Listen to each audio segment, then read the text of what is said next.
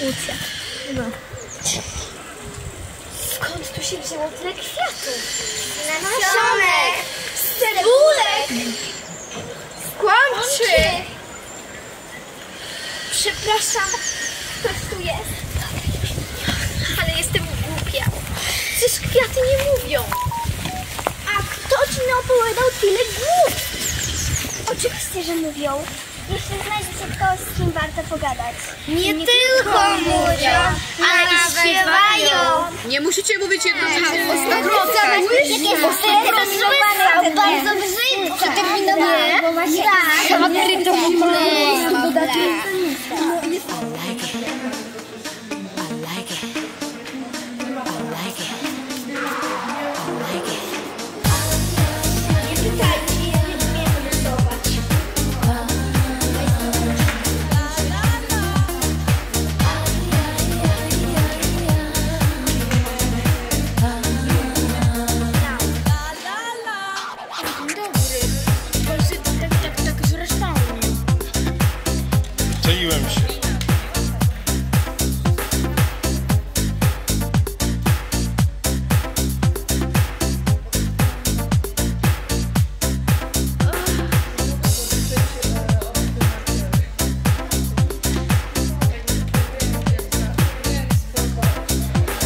Smakuje zupka ogórkowa?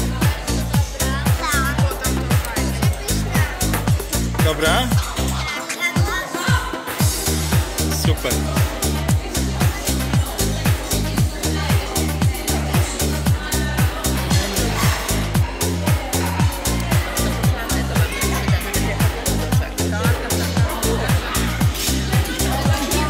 Jak smakuje kurczak? Nie wiem, bo jeszcze nie próbuj.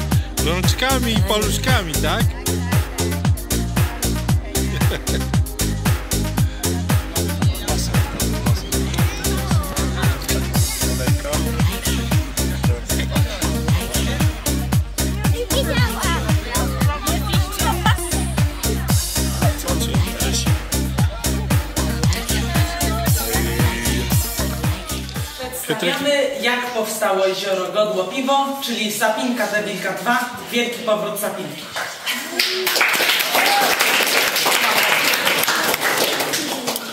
Kolejny dzień w średniowieczu.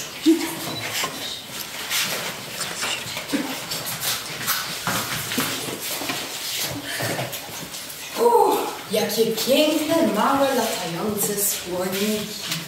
Uważaj, nie potknij się o mnie! O Jezu! Moja głowa. Hokus pokus, pika pika. Nie będę już wlewana do czajnika. W końcu nie jestem rzeką!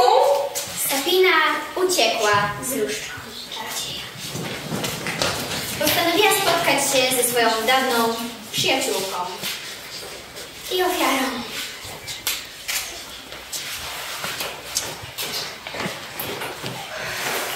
Mówię ci, to zły pomysł, pomysł, żeby się z nią spotykać. To przyjaciółka. Musisz mi zaufać. Lizzie, spokojnie, wszystko będzie okej. Pamiętasz, jak mówiła, że 300 ton złota to dobra cena krakersa? Lizzie, mam karocę, idę stąd. Poproszę... E, Dwa piwa. Dwa piwa. I sergoda. Kilogram. Złotem. Na Chińczyku. Wiem. Cztery. Nawet się zapiwek 60 zł.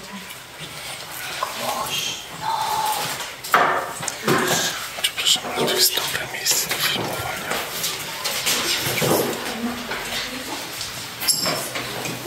Ser i piwo. Dzięki, dzięki.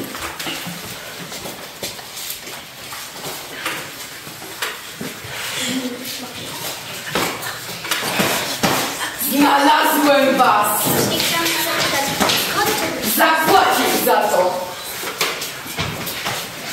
Wypiliście moje całe ulubione piwo i ulubiony ser Golda! Zapłacisz za to! Abrakadabra, ja piję paliwo! Będziesz się nazywać Jezioro Golda Piwo! A! Co się ze mną dzieje? Elizabeth zaczęła zamieniać się w jezioro.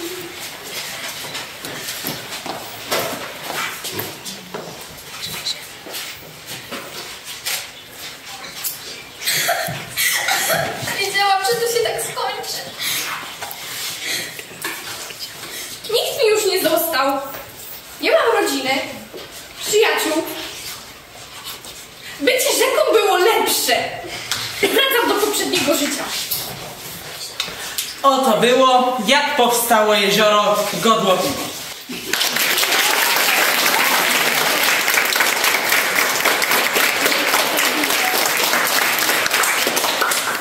E, Witamy na przedstawienie, jak powstała wołda piwa. Był sobie pewien groźny wędrowiec, który maszerował dwa dni i dwie noce. W końcu był tak spragniony, że już nie mógł dalej iść. W końcu znalazł kałuż. Pomyślał sobie, jeśli wykopię więcej, to będzie dużo wody. I kopała kolejne dwie noce i dwa dni. Przyszedł kolejny. I powiedział, czy mogę się przyłączyć do tego kopania? Tak. Zaczęli razem kopać.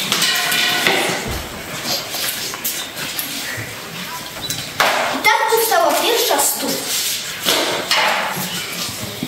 I nagle y, drugi wędrowiec zauważył, że studnia się przelewa i że trzeba zrobić większe jezioro. No więc znów się zaczęli do pracy.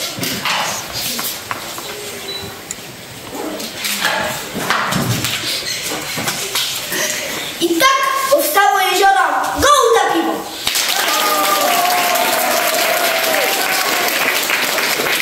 Dawno, dawno temu było sobie jezioro bez nazwy.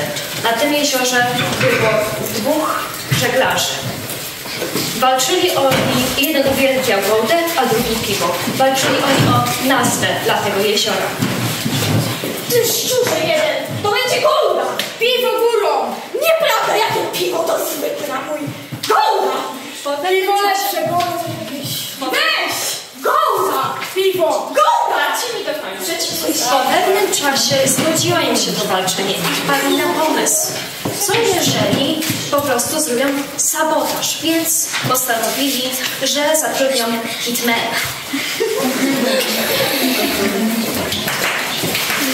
Tak, tak między nami. Wiem, że jesteś kupaty. Wiem, że jesteś tak. Jeszcze jesteś? No dobrze, no. Kojarzysz tego piwa? Piwo. Nie, piwo, piwo. Masz go za. Zniszczyć go. Zabić. Zniszczyć. Nie zobaczysz go z piwem. Wyrwać go. Zniszczyć. Los.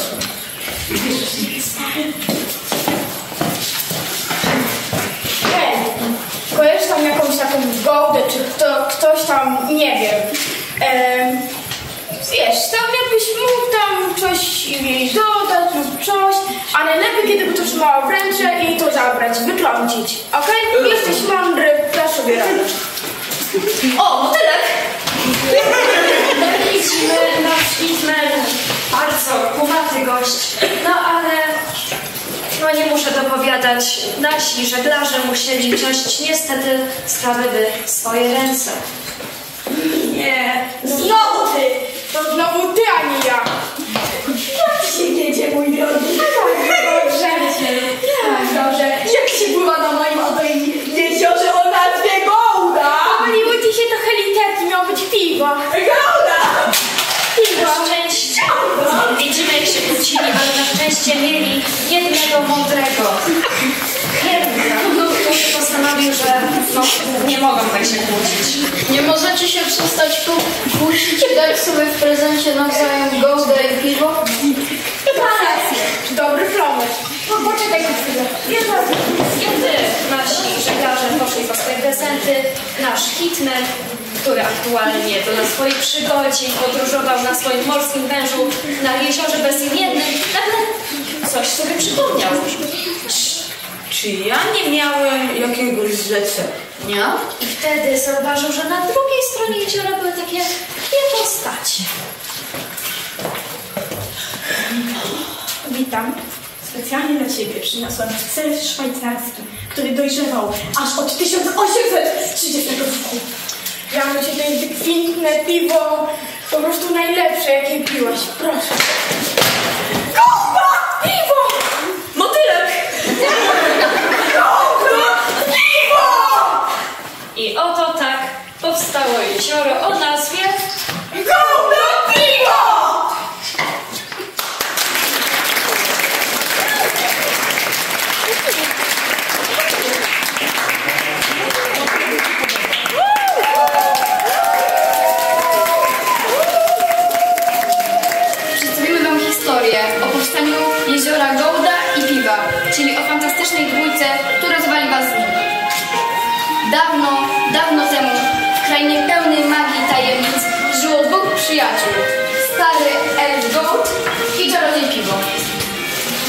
Pewnego dnia, po burzy pełnej błyskawic i grzmotów, znaleźli się na polanie wśród zaczarowanego lasu.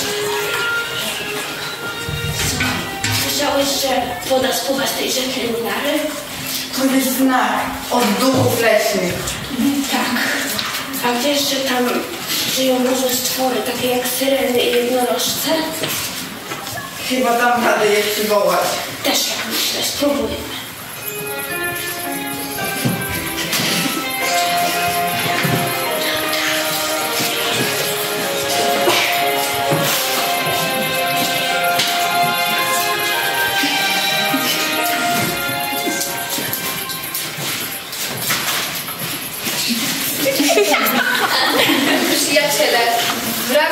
Magicznymi stworzeniami zaczęli budować tamę. Kamienie, które przyniosły istoty, były mocne i lśniące. A czarodziej użył swojej magii, by wzmocnić konstrukcję.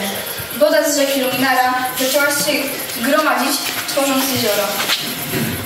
Lata mijały, a jezioro Gołopiża stało się domem dla niezwykłych stworzeń. Jednorożce przychodziły pić, e, pić wodę z jego brzegów. Syreny śpiewały swoje pieśni, a duchy lasu czuwały nad spokojem wody. Ludzie z dalekich krain przybywali, by podziwiać piękno jeziora i słuchać opowieści o trzech przyjaciołach, którzy dzięki swojej odwadze i współpracy z magicznymi istotami stworzyli miejsce pełne magii i harmonii.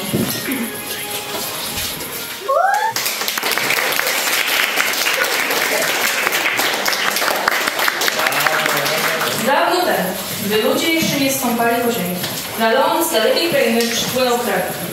Trawa dobijała samotność. Pewnego razu tak długo szedł przed siebie, że dotarł na pustynię, gdzie nic nie było na horyzoncie. Załamany krawik usiadł na środku pustyni i zaczął płakać. Łzy, które wypływały dniami i nocami z jego oczu się nie kończyły. Po wielu tygodniach łzami zatopił całą pustynię, a sam odpłynął daleko. Setki lat, setki tysięcy lat później, gdy cywilizacja zaczęła się rozwijać, ludzie osiedli się przy jeziorze, wypłakany przez czerwę. Ziemia sprzyjała, więc zaczęto tam hodować bydło. A wioska charakteryzowała serc, które zwały się wodą. Przy jeziorze osada charakteryzowała się również produkcji piwa. Z biegiem lat jezioro nazwane zostało Gołdopiwo przez rodziców. Krawie podróżował na ten świat i jezioro nadal pewnie życiem. Tak właśnie powstało jezioro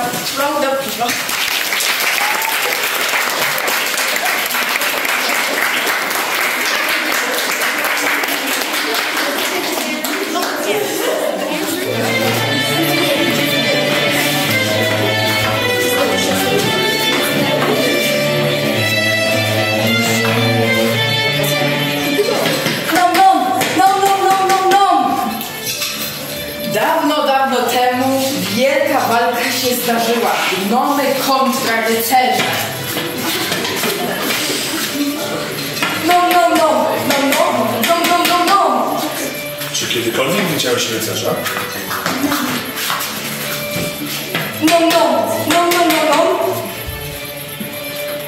Nie. Słyszałem. A ty?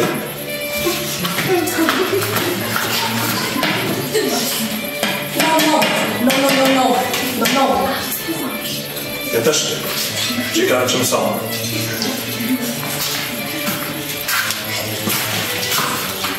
No, no. Co to? No, no. Что-то не це?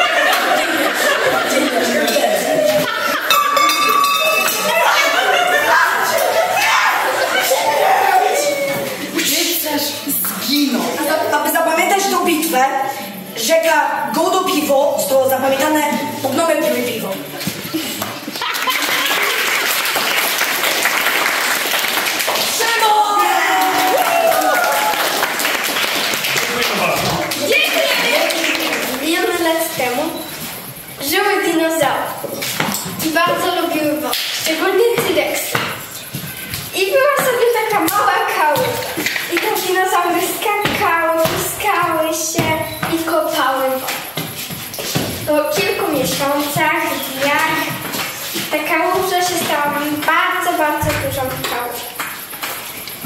A po kilku milionach latach była Arka Noego zalało cały kraj. Kiedy woda wsiąknęła wo... Kiedy ziemia wsiąknęła wodę, jez... y, ta duża kałuża stała się jeziorem. Tak powstało jezioro Gołda Piwo.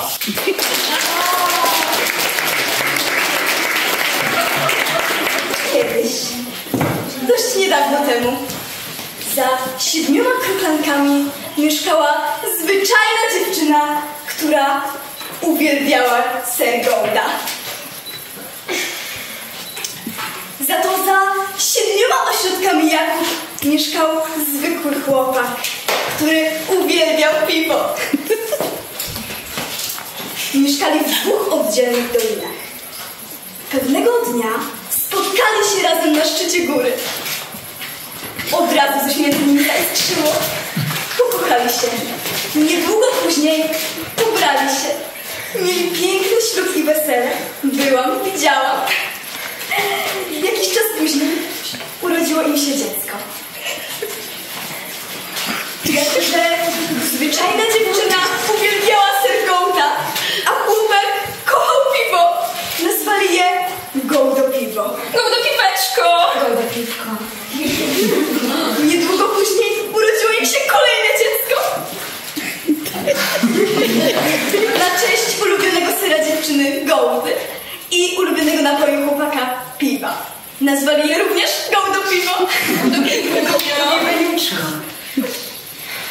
Zamieszkali razem w trzeciej dolinie niedaleko tej góry. Żydło im się tam niesamowicie. Wiedli szczęśliwe rodzinne życie, wyjeżdżali na wakacje,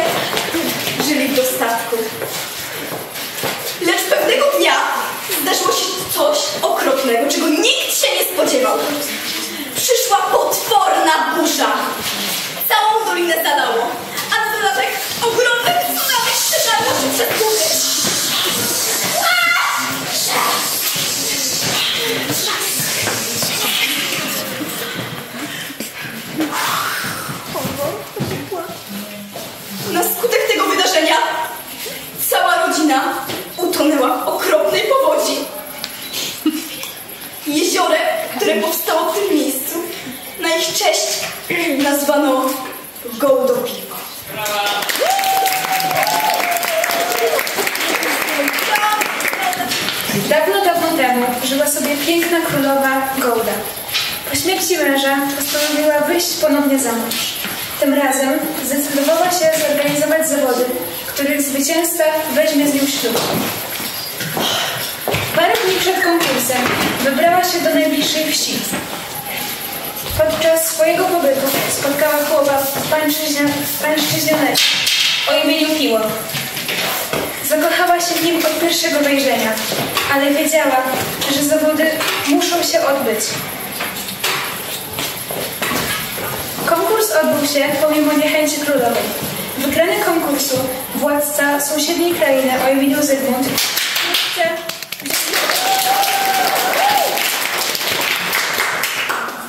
Królowa jednak nie przestała spotykać się z piłem.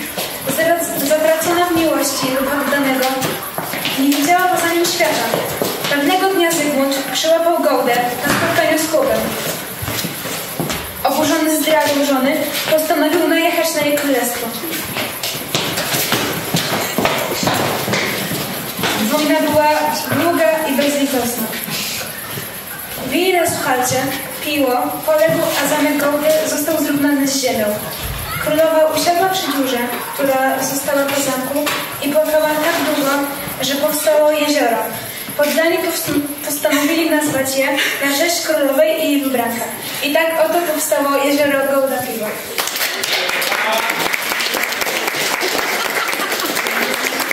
Bijemy pokłony.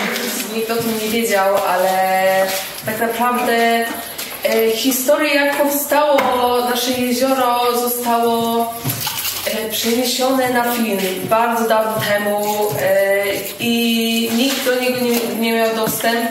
Dopiero teraz zobaczycie je po raz pierwszy. E, było schowane w archiwach, bardzo dużo grzebaliśmy, żeby je znaleźć. E, Zostało stworzone przez artystów, których dzieła są cenione na bardzo wysokie kwoty i jest to zaszczyt, że możemy je Państwu pokazać. Nie ma niestety dźwięku, bo nagranie jest stare, ale mm, mam nadzieję, że Wam się spodoba.